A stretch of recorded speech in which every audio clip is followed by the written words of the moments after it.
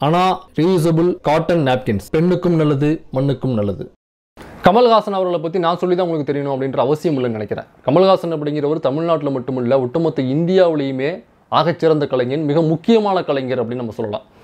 நீங்கள் நடிப்பில் மட்டுமில்லை இயக்கம் கதாசிரியர் லிரிசிஸ்ட்டு சிங்கர் அப்புறம் மேக்கப்பு இப்படி நீங்கள் சினிமாவில் எந்த துறை எடுத்துக்கிட்டாலுமே அவர் கால் பதிக்காத துறை எதுவுமே கிடையாதுன்னு சொல்லலாம். சினிமா அப்படிங்கிறது ஒரு கடல்னு சொல்லுவாங்க. அந்த கடலை கடந்தவர் கமலஹாசன் அப்படிங்கிறது நம்ம தாராளமாக சொல்லலாம். அதில் எந்த வித மாற்றுக்கருத்தும் கிடையவே கிடையாது. ஏன்னா இப்போ கமலஹாசன் அவர்களுக்கு பிறந்தநாள் வந்தது இல்லைங்களா? அதனால் இந்த மாதிரியான பாசிட்டிவான விஷயங்கள்லாம் பேசிட்டு தான் அதுக்கப்புறம் போகணும் அப்படிங்கிறது உலக வழக்கம். அதனால் நம்ம இதெல்லாம் பேசிகிட்டு இருக்கோம். ஏன்னா சில பேர் வருவாங்கல்ல கனி இருப்ப காய் கவர்ந்துட்டுருப்பா அப்படின்பாங்க அப்படிம்பாங்க. அதனால் முதல்ல நம்ம இந்த கனியை பார்த்துட்டோம். இப்போ அந்த காய்க்குள்ளே போகலாமா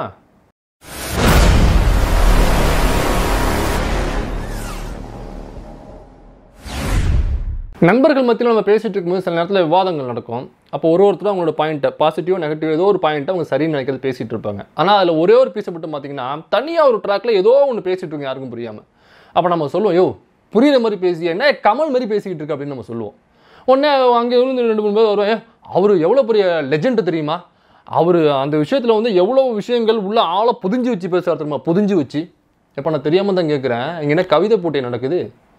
இல்லை என்ன இலக்கியம் பண்ணுறமா யார் இந்த தலைப்பில் சரியான கவிதை எழுதி ட்விட் பண்ணுகிறார்களோ அவர்களுக்கு இந்த தங்கப்பதக்கம் அல்லது இந்த விருது அப்படின்னு சொல்கிற போட்டி நடக்குதுங்க? இப்போ மக்கள் பிரச்சனையா? அவன் இந்த டெய்லி வந்து அமைப்பு இயக்கம் கட்சி கடங்கள் அமைப்புகள்னு வச்சுட்டு இருக்காங்களே டெய்லி என்ன பண்ணுவாங்க? காலையில் எடுத்து பேப்பர் எடுத்து புரட்டுவாங்க. என்ன பிரச்சனை இன்றைக்கி மக்கள் பிரச்சனை என்ன வந்திருக்கு? இது சரி இது தவறு மக்கள்கிட்ட கொண்டு வந்து சேர்த்தே ஆகணும்னு சொல்லிட்டு அவங்களுடைய கருத்து எதுவோ அவங்க சரி தவறுன்னு நினைக்கிற விஷயத்த முன்னாடி கொண்டு வந்து வைப்பாங்க. அதில் சரி தவறு அதை மக்கள் எடுத்து முடிவு பண்ணிப்பாங்க. அவங்க நோக்கம் என்னன்னாக்கா மக்கள் சரியான த தவறான பாதைக்கு போகக்கூடாது அப்படிங்கிறத அவங்களை கருத்து எடுத்து முன் வச்சுட்டு இருப்பாங்க நம்ம தலைவன் மட்டும்தான். எந்த பிரச்சனை வந்தாலுமே டக்குனு ஒரு எழுத்தாளர் தூக்கிட்டு ஓடி வந்துருவாப்ல ட்விட்டருக்கு அந்த கவிதை கம்பெனிக்கே புரியாதுன்னு வச்சுக்கோங்களேன். ஏன்? அந்த ட்விட்டை போட்ட நம்ம தலைவனுக்கே அந்த கவிதை புரியாது. எல்லா பிரச்சனையுமே மக்களுடைய நம்ம கண்ணுக்கு தான் அது கஷ்டமாக தெரியும். தலைவன் கண்ணுக்கு இது கவிதை போட்டிக்கான காம்படிஷன் இன்றைக்கி என்ன? புதிய கல்விக் கொள்கையா? அப்போ புதிய கல்விக் கொள்கைங்கிற தலைப்பில் இன்னைக்கு ஒரு கவிதை எடுத்து நீட்டுறா. இது என்ன இது? வேளாண் மசோதாவா? அப்போ இன்னைக்கு வேளாண் மசோதா அப்படிங்கிற தலைப்பில் ஒரு கவிதை நம்ம ட்விட் பண்ணணும். இது என்ன? இது வந்து இந்த ரிசர்வேஷன் பிரச்சனை. அப்போ ரிசர்வேஷன் அப்படிங்கிற தலைப்பில் ஒரு கவிதை. ஆனால் அந்த கவிதை யாருக்கும் புரிஞ்சிடக்கூடாதுங்கிறது வேற விஷயம். தலைவா பாசிட்டிவோ நெகட்டிவோ எதுவோ உங்களுக்கு எதுன்னு சரின்னு போடுவதோ அதை நீங்கள் எடுத்து மக்கள் முன்னாடி கொண்டு வந்து வைக்கணும் தலைவா. அதுதான் தலைவா சமூக செயல்பாட்டில் நீங்கள் சமூகத்தை எங்க மக்களுக்காக. அது உங்களுடைய வேலை. இப்படி யாருக்குமே ஒன்று புரியாத எழுதி என்ன பண்ண போகிறீங்க இல்லை நான் வந்து மையம். நான் வந்து இங்கே ஒரு கால் இங்கே ஒரு காலு தான் வைப்பேன் அப்படின்னாக்கா தலைவா கவட்டி கிழிஞ்சு போயிரும் தலைவா. நீங்கள் இந்த எட்டு வழிச்சாலை பிரச்சனை எடுத்துங்க. எட்டு வழிச்சாலை அப்படின்னு வரும்பொழுது அது பாசிட்டிவாக நினைக்கிறவங்க என்ன சொல்லுவாங்க? எப்போ எட்டு வழிச்சாலை எவ்வளோ நல்ல விஷயம் தெரியுமா? சும்மா இங்கேருந்து சென்னையிலேருந்து நீங்கள் சேலத்துக்கு போகணும்னாக்கா எட்டு நிமிஷத்தில் போய் சேர்ந்தலாம்ப்பா சும்மா கச்ச கச்ச கச்ச கச்சக்கன்னு போனீங்கன்னா எட்டு நிமிஷம் சேலம் வந்துடும் அப்படின்னு சொல்லி அவங்களுடைய பாயிண்ட் எடுத்து வைப்பாங்க. அதுக்கு ஆப்போசிட்டாக உள்ளவங்க நம்மளாம் என்ன சொல்லுவோம் எட்டு வழிச்சாலை வேண்டாம்ப்பா. எதுக்கு எட்டு வழிச்சாலை தேவையில்லாமல் சரி எட்டு எட்டு நிமிஷத்தில் சேலம் சேலம் போயிடுவியா? எட்டு நிமிஷத்தில் எனக்கு சேலம் போய் அங்கே எவனோட என்ன பண்ண போகிற அப்படின்னு நம்ம கேள்வி முன்னாடி வைப்போம்ல.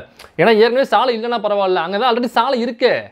ஆல்ரெடி ஆறு வண்டிகள் வாகனம் போடுறதுனால சாலை இருக்குது பின்ன எதுக்கு எட்டு வழிச்சாலை புதுசாக அப்போ எட்டு வழிச்சாலை வர எதை எதை அழிச்சு போட போறீங்க? இங்கே உள்ள காடு மலைகள் இயற்கை வளங்கள் விவசாயம் அங்கே உள்ள வீடுகள் குடிசைகள் எல்லாத்தையும் அழிச்சு போட்டு நீங்கள் எட்டு வழிச்சாலையை போட போகிறீங்க ஏப்பா? அந்த வீட்டில் உள்ளவன் அங்கே புழங்குறவன் அந்த காடுகளில் உள்ளவங்க இந்த வயலில் வேலை பார்க்குறவன் அவங்க போகிறது என்னப்பா அந்த ரோடு? அவங்க இருக்கிற இடத்தெல்லாம் அழிச்சு போட்டு ரோடை போட்டு என்னப்பா பண்ண போகிறீங்க அப்படின்னு நம்ம கேள்வி முன்னாடி வைப்போம். ஆனால் தலைவனாக இருந்தால் என்ன தெரியுமா பண்ணுவார்? நீட்டாக ஒரு கவிதை எழுதிருவாப்பில். அந்த கவிதை எப்படி இருக்கும் அப்படின்னு ஒரு சின்ன கற்பனை. இங்கே பாருங்கள் எட்டு வழிகளில் எந்த வழிச்சாலைகளுமே எட்டாத ஏதோ ஒரு மூலையில் பிறந்தவர்களின் நாடும் ஒருவன்.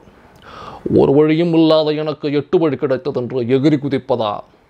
எட்டு வழியும் எங்கு கொண்டு சேர்க்குமோ என்று இறங்கி நிற்பதா? எட்டு வழியோ எதுவோ? அது மக்கள் வழியாகட்டும். அப்படின்னு சொல்லி ஒரு ட்விட்டை போடுவாப்புல. இப்போ அது ஒரு சின்ன கற்பனையில் நாமளே எழுதுனது தான் தலைவன் இப்படி போட்டால் அப்படி இருக்குன்னு சொல்லிட்டு சத்தியமாக சொல்கிறேன் இந்த கவிதை என்ன அர்த்தம்னு எனக்கு தெரியவே தெரியாது. கவிதையா இல்லை எனக்கு தெரியாது. ஆனால் தலைவன் எழுதுனா அது இப்படித்தான் இருக்கும். மக்களுக்கான தலைவன் அப்படிங்கிறவன் மக்கள்ல இருந்து தான் வருவானே தவிர மயிலாப்பூர்லேருந்து வரமாட்டான்.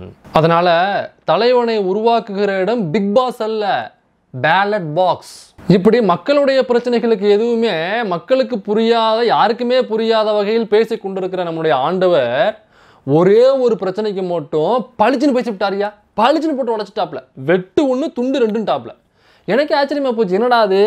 ஏமா என் உடம்பு உடம்பு சரியில்லையா? அப்படிலாம் எனக்குள்ள நான் கேட்டுக்கிட்டேன். அப்படி என்னதான் பேசியிருக்காருன்னு நீங்களே பாருங்க. மனுஸ்மிருதி புழக்கத்தில் இல்லாத புத்தகம். அதை பற்றிய விமர்சனம் தேவையற்றது. அது புழக்கத்திலேயே இல்லை. இதே மாதிரி கராரா கமல் பேசி எங்கேயாவது நீங்கள் பார்த்துருக்கீங்களா? ரிசர்வேஷன் கட்டில் நீட் பிரச்சனையில் வேளாண் மசோதாவில் புதிய கல்விக் கொள்கையில் எந்த பிரச்சனைகளாவது மக்கள் பிரச்சனையில். ஆனால் மனுவுக்கு ஒரு பிரச்சனைன்னு வரும்போது மட்டும் தலைவன் வெட்டு ஒன்று துண்டு ரெண்டுன்னு பளீர்னு போட்டு உடைக்கிறாப்புல பதில.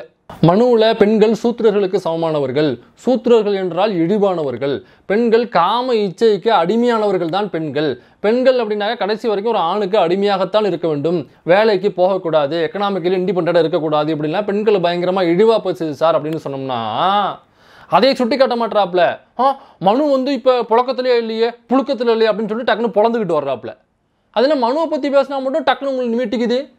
ஏங்க மனுவில் வந்து பெண்களை பற்றி இவ்வளோ இழிவாக இருக்குது அப்படின்னு சொல்லிட்டு அதை தடை பண்ணணும்னு சொல்லி ஒருத்தவங்க போராடுறாங்க. இவர் என்ன பண்ணுறாரு அதை பற்றி போராடுறவங்களை பற்றி குத்தம் சொல்ல வர்றாரு. ஆண்டவரே உங்களை மாதிரி தான் நானும். ஒரு காலம் வரைக்கும் இதெல்லாம் புழக்கத்திலேயே இல்லையே. இதை எதுக்கு இவங்க எடுத்து வச்சு பேசிகிட்டு இருக்காங்க அப்படின்னு நினச்சிக்கிட்டு இருந்தேன். அதுக்கு அப்புறம் தான் தலைவர் தெரிஞ்சிச்சு. இந்த இருக்கிற மடங்கள் வேதசாலைகள் ஒட்டுலசுக்கெல்லாம் சொல்கிறாங்கல்ல அங்கே எல்லா இடத்துலையும் நம்மளுடைய கவட்டிக்கு கீழேயே உட்காந்து நமக்கு ஓதிக்கிட்டு இருக்காங்க. ஆண்டவரே உங்கள் கவட்டைக்கு கீழே கூட தெரியுது பாருங்க. ஒன்று ரெண்டு இல்லை தலைவா எக்கச்சக்கமான வீடியோக்கள் டே பை டே அப்டேட் ஆகிட்டு இருக்கு ஓதிக்கிட்டு இருக்காங்க. ஒன்று ஒன்றுத்துக்கு எடுத்து நான் ரிப்ளை கொடுத்துருக்கேன் தலைவா. ஒரு பிளேலிஸ்ட்டே போட்டிருக்கேன். நூல் புல்லாண்டாஸ்னு சொல்லி ஒரு பிளேலிஸ்ட்டே போட்டிருக்கேன் நான். உங்களுக்கு டவுட்டாக இருந்தால் எண்டுலேயும் டிஸ்கிரிப்ஷன்லையும் போடுறேன் அந்த பிளேலிஸ்ட்டை போடுறேன். பார்க்கலன்னா போய் பார்த்து நீங்கள் தெரிஞ்சுக்குங்க. அது மட்டும் இல்லை தலைவா நம்மளுடைய கவர்மெண்ட்டோட வெப்சைட்டில் போட்டிருக்காங்க. இந்த இந்த ஃபன்ஃபாடு கலாச்சாரம் அப்படிங்கிற அந்த பகுதியில் இந்த விஷயத்தை போட்டு மேற்கோள் காட்டி மனுஸ்மிருதியை அதில் போட்டு சேவ் பண்ணி வச்சுருக்காங்க. கவர்மெண்ட் வெப்சைட்டில் தலைவா? அது மட்டும் இல்லை இப்போ ரீசெண்டாக நம்மளோட இந்த இஸ்கானா கிஸ்கானா பிஸ்கானான்னு ஒரு தரப்பான ஒரு கருங்கல் மண்டையன் அவன் வந்து உலகத்திலேயே பெரிய அந்த ஒரு பகவத்கீதை நூலை எழுதி விட்டாப்புல அந்த நூலை இந்த நூல் எழுதுனதுனால அது வந்து நம்ம ஜி வந்து வெளியிட்டிருக்காப்புல அந்த பகவத்கீதையில் இந்த மனுவை மேற்கோள் காட்டி நிறைய அந்த கருங்கல் மண்டையை எழுதி வச்சுருக்கான். உங்களுக்கு டவுட்டாக இருந்தாக்கா அதுக்கான லிங்க் டிஸ்கிரிப்ஷனில் போடுறேன். பூதம்னு ஒரு ட்விட்டரில் இருக்காரு அவரையும் ஃபாலோ பண்ணுங்க. உங்களுக்கு நிறைய விஷயங்கள் கிடைக்கும். இவ்வளோ ஏன் தலைவா? நீங்களே மனுவை பற்றி சொல்லியிருக்கீங்களே. ரெண்டாயிரம் வருஷத்துக்கு முன்னாடினா நம்ம மனு தர்ம சாஸ்திரத்தையும் சேர்த்து உள்ள அடக்கிக் கொள்ள வேண்டும். அதை அடக்கிக் கொள்ள மாட்டேன்.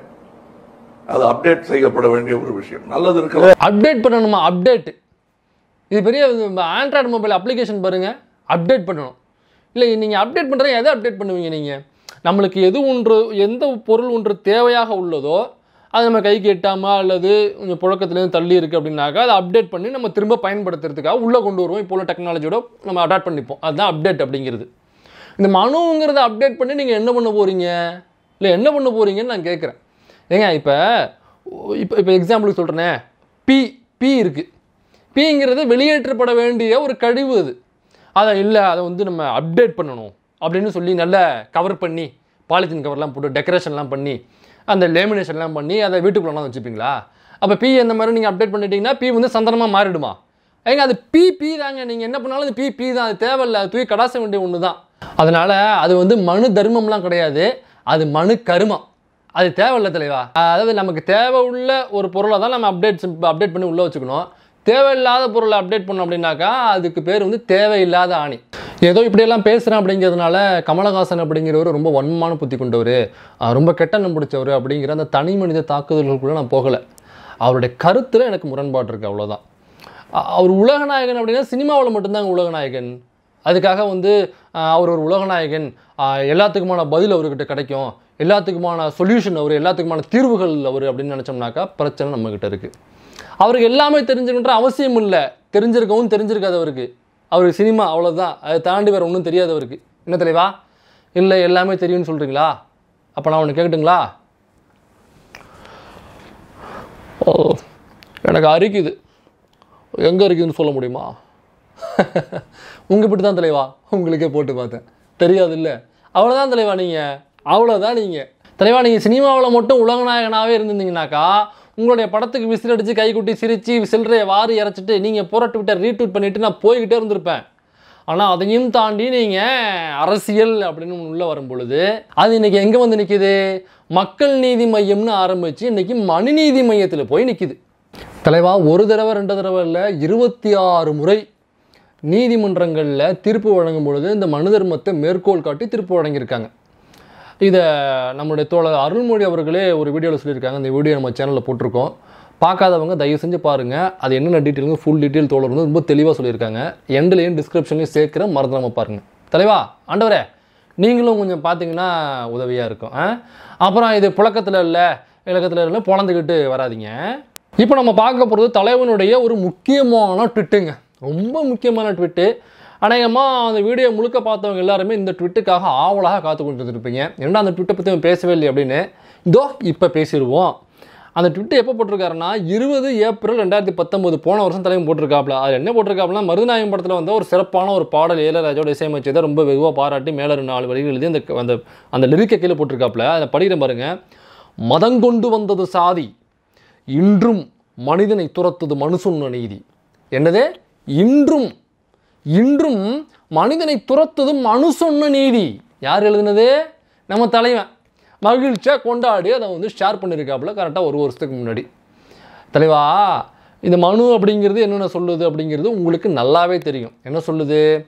இவாள்லாம் கோயிலுக்குள்ளே வரணும் இவாள்லாம் கோயிலுக்குள்ளே வரப்படாது. இவாள் மட்டும்தான் அக்ரகாரத்தில் இருக்கணும் இவாள்லாம் சேரில் இருக்கணும் இவாள்லாம் தெருவில் இருக்கணும்னு சொல்கிறது பெண்கள் அப்படின்னாலே அடிமையாக தான் இருக்கணும்னு சொல்கிறது பெண்கள்னா ஒரு காம இச்சைக்கான பொருள் மட்டும்தான். அந்த காம இச்சைக்கு அடிமையானவர்கள் பெண்கள்னு சொல்கிறது பெண்களை முழுக்க முழுக்க பெண்களை இழிவுபடுத்துது. அப்படின்னு மனு சொல்கிறதுன்னு உங்களுக்கு நல்லா தெரியும் தலைவா. அப்படி தெரிஞ்ச வாசி தான் இது சரி அப்படின்னு உங்களுக்கு அன்னைக்கு பட்டுச்சு. இதுதான் சரின்னு இன்னைக்கும் எங்களுக்கு பட்டுச்சு. ஆனால் இப்போ உங்களுக்கு எங்கே பட்டுச்சு? மக்களுக்கான எல்லா பிரச்சனைகளிலுமே குழப்பவாதியாகவே இருந்த கமலஹாசன் அவர்கள் மனுநீதின்னு வரும்பொழுது மட்டும் அவ்வளவு தெல்ல தெளிவாக புழக்கத்தில் இல்லை இதுக்கான போராட்டங்கள் தேவையில்லைன்னு பளிச்சுன்னு தன்னுடைய கருத்தை எடுத்து வைக்கிறாருனாக்கா அப்போ இந்த கமலஹாசன்கிறவர் யாரு? நீங்கள் யாரு? நீங்கள் யாரு அப்படிங்கிறதுக்கான ஒரு குறும்படம் இருக்குது பார்க்குறீங்களா ஏன்? நீங்கள் மட்டும் தான் குறும்படம் போடணுமா? நாங்கள் போடக்கூடாதா? தலைவா அந்த குறும்படத்தை போட்டு விடுங்க. அதனால எப்பவுமே இந்தியனும் கிடையாது தமிழன் கிடையாது. தேவைப்பட்டா பெரியார் பத்தி பேசுவான் நீங்க ரொம்ப ஜாகிரதையா இருக்கணும். ஆனா அவரு ஒரு அண்ணா ஐயங்கார். அவர் படத்துல வந்து நீ வேணும் விஷ்ணு அதான படத்துக்கு பாருங்க விஷ்ணு தான் எப்ப சிவர் ஓவம்னு வைக்க மாட்டான் யோசிச்சு பாருங்கோ. தசாவதாரம் தான் படம் எடுப்பான். மத்த அவதாரங்கள் கடவுள் எடுக்கவே இல்லையா நம்ம நாட்டுல? எடுக்க மாட்டேன். ஏன்னா இவன் ஐயங்காரு. அவன் ஜம்ப் பண்ணி தப்பிச்சு போறான்னா அந்த லாரியில் பாத்தீங்கன்னா ஸ்ரீராம ஜெயம்னு இருக்கும். ராமர் துணைன்னு இருக்கும். அவங்க எல்லாம் ரொம்ப வில்லங்கமான விஷ இன்ஜெக்ஷன்ஸ் நாம தான் கேர்ஃபுல்லா இருக்கணும்.